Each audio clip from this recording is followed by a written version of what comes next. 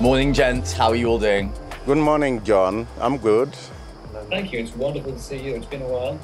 John, very nice to see you again. I'm very excited and looking forward to being part of this Africa special. All right, thanks, guys. So, Chris, maybe you can talk to us about some of the challenges um, which telcos uh, have to face when operating within a government framework. One of the many advantages of, the world mobile model is that it operates to some degree autonomously and independent of central government. And central government in some of the jurisdictions we're talking about has degrees of corruption in all or part of it.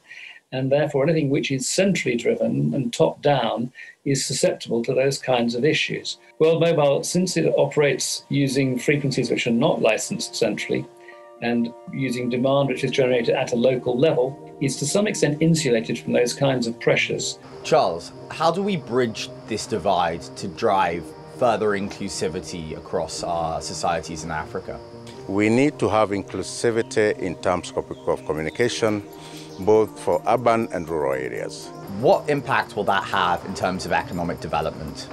Uh, much of our economy, much of our social lives, much of our economic lives now depends on digital connectivity. And for those people in Africa, they're missing out and they're increasingly being subjected to uh, you know a digital divide between those who have connectivity and those who don't. What would be the specific key benefits from connecting these unconnected populations?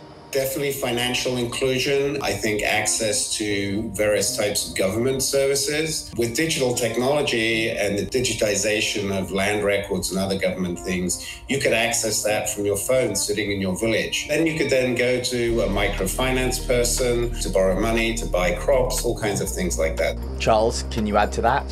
We must be able to bring cost effective communication so that in the end it's not a question of commercial issues it's a question of people being included and be people being in one society to communicate and relate to each other